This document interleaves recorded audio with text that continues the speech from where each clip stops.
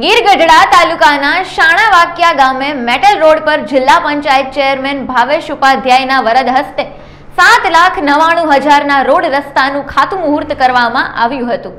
આ રોડ બનતા ગૌશાળા તેમજ મેલડી માતા મંદિર જવા લોકોને સરળતા રહેશે.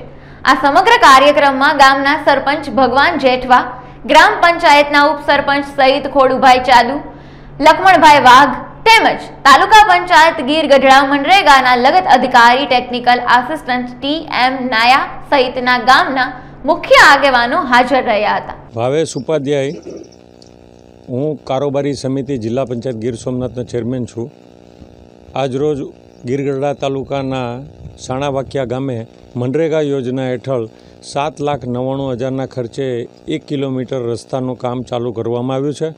જેનું ખાતમુહૂર્ત સરપંચશ્રી તેમજ ગામના આગેવાનોની હાજરીમાં કરવામાં આવ્યું છે. અધિકારીશ્રીઓ પણ બધા અહીંયા હાજર છે.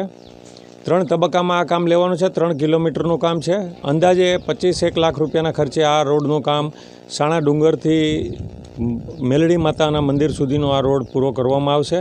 અને વહેલી તકે આ કામ શરૂ કરવામાં આવ્યું છે અને પૂરું પણ થાય એવી કામગીરી કરે અધિકારીઓને એવી એમને વિનંતી પણ છે અને ગ્રામજનો આનાથી રાજી થયેલ છે.